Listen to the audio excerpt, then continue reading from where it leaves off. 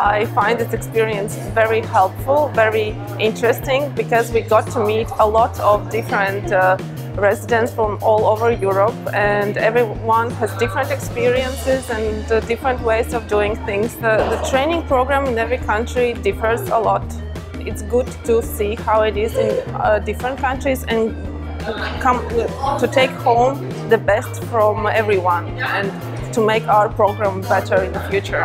I will uh, tell my colleagues how it is here in Italy and how it is in other European countries and uh, we also learned a lot here in Turin in the training center and I will take it and I will teach it to my colleagues. It's been really amazing because you hear so many stories from different countries, uh, not only from Torino but also from the other European countries. Um, and uh, I think we're privileged to, to have the opportunity to share those uh, experiences with each other. I think uh, in a short time uh, we've been here, you get so much information of other countries um, uh, that it broadens your view on uh, medicine and on your training in general. So um, I think I think more people should be able to be part of such an international project. Um, so maybe for the future we should do more. I think it might be an obligatory part of your training to uh, look in another country how they do it and experience so you can take those experiences in your own development as a doctor. I'm very glad that I had the chance to join this exchange program uh, and I found it a very, very uh, interesting and nice um, experience for me.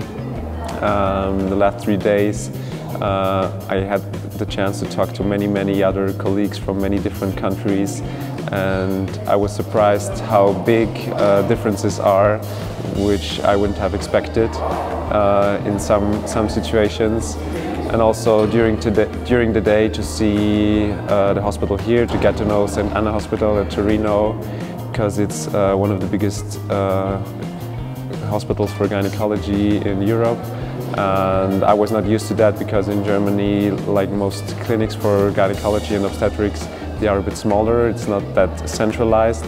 Uh, so for me this was one of the most one, of the main differences and very interesting to see.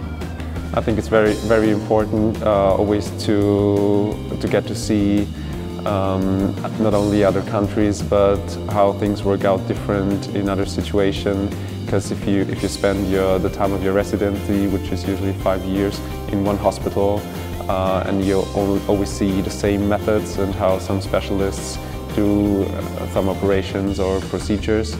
Um, it's very important that you that you also see other methods and uh, especially. Uh, I've had a great three days here in Turin. I think the most important part of the experience for me has been being able to talk to other European trainees not only about their training but also about how healthcare is delivered in their countries. It's given me some great ideas to think about when I go home. As doctors, we're taught that reflection is the key to our learning, but it's hard to reflect if you don't have other knowledge. So talking to some of the trainees about how they deliver women, how they deliver care during labour, and also how they pursue their careers has given me some really important food for thought. Uh, and if I'm lucky enough to get the chance to do another international exchange, I would leap at that chance. It's been so amazing to learn so much information in such a small amount of time.